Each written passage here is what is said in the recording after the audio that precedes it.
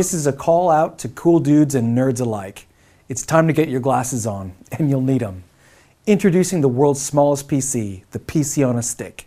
Powered by an Intel quad core CPU, 2 gigabytes of RAM, and 32 gigs of storage, this little device packs the power of a $450 plus tablet or notebook, and it fits into the palm of your hand. Connected by a single HDMI port and powered by USB, this is truly plug and play in its simplest form.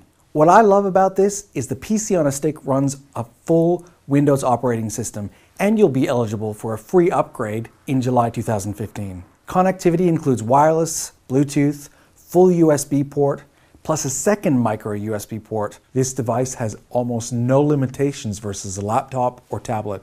It's simply amazing. Now, I recommend either using a Logitech or Microsoft Media keyboard for easy wireless use. The ways I'm going to use the PC stick include sitting back on the couch, enjoying a full Windows experience, cruising Netflix, YouTube, Facebook, everything I've ever wanted to do, but now on a wider screen.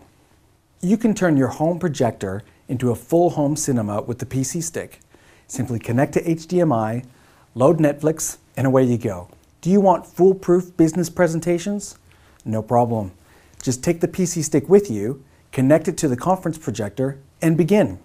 No more messy notebooks, cables, or extension leads. Or if you just want an affordable, thin client desktop PC, plug this into your home LCD screen. That's exactly what I'm going to use this for, and I just can't wait. Visit leaderonline.com.au or search for SC1-INT to find a local reseller near you.